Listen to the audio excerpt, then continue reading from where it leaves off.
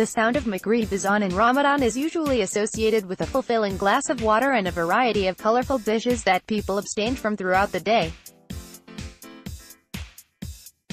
But as the sun sets, it's only a date and a glass of water for Abdul Rahim Hajjan, 32, who rushes to serve people iftar at Moroccan Taste, a small cozy family-run restaurant that offers homemade Moroccan dishes and sweets in a corner at the La Plage residence in Dubai.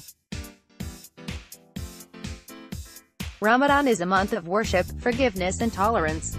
My favorite part is serving people and feeling that they're happy with the food I'm giving.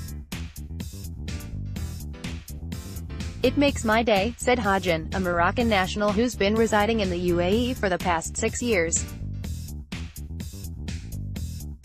It's like having guests over at home. You do whatever it takes to make them happy and satisfied. Hajjan's duty starts when he steps into the restaurant at 2 p.m. to take phone calls and reservations from visitors before starting iftar preparations with six of his colleagues. We divide the work among us to make sure every guest gets their food and drinks on time. The first day is always the hardest until we get the routine going, said Hajjan. 7 p.m., visitors, who start to slowly fill up the restaurant, come in to find their table ready with dates, chabakia, Moroccan sesame cookies, harira soup made with tomatoes, lentils, chickpeas and lamb, and orange juice with carrot and cinnamon.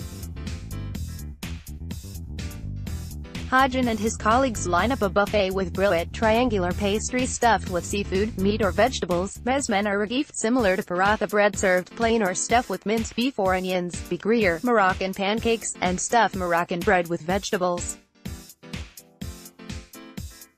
Soon, freshly cooked dishes of couscous, plum tagine, and peas and artichoke tagine are lined up for people to start their main courses.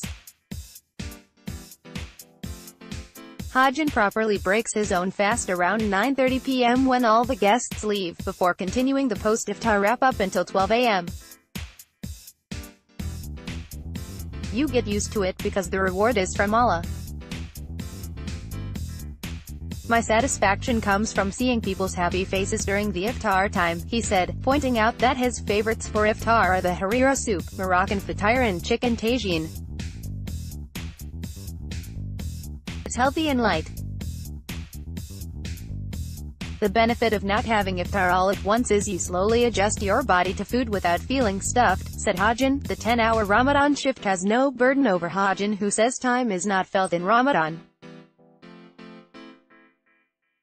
The holy month finishes before you even notice it.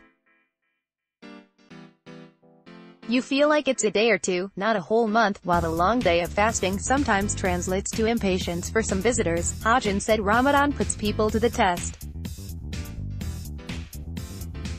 For him, Ramadan is an opportunity to grow on the personal and professional level. Ramadan needs patience. The month teaches you the discipline you need for the entire year. Work-wise, it gives you a lot of experience that helps you develop and improve every year. The giving continues for Hajjan when he distributes the remaining food to those in need or to people who have no job to provide them with constant income. We make sure nothing goes to waste, and that the food goes to whoever needs it every day, he said. And there's no rest as the restaurant is already starting its Eid preparations. We are already receiving orders for delicacies from now. Guests can expect the Moroccan fekas, cookies, goriba and kaab el ghazal to be ready, said Hajjan, Sharuk at